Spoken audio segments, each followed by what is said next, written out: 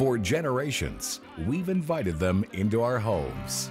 We've watched as contestants risk it all on a simple spin or a single question. They've kept us on our toes and on our feet for over 75 years. They are TV game shows.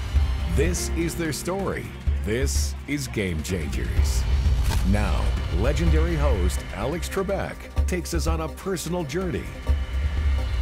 All game show hosts are very talented. So, why have some of us been around so long? Why have we endured? As he tries to answer the ultimate question why do game shows continue to be one of the most loved and enduring genres in the global television landscape? But when television started, I was thrilled to death because that was my medium.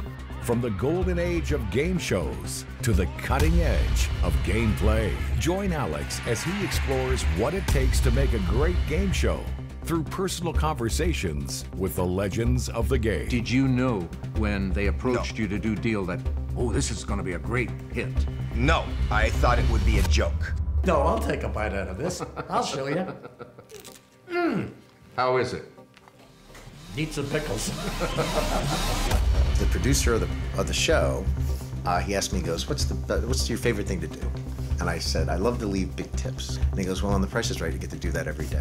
And I swear, my first thought was, in watching the show, was, there's nothing for me to do. Their influence is monumental. Their cultural footprint is undeniable. Their impact will be felt for generations to come. Welcome to the definitive look at the TV game show, Game Changers, starring Alex Trebek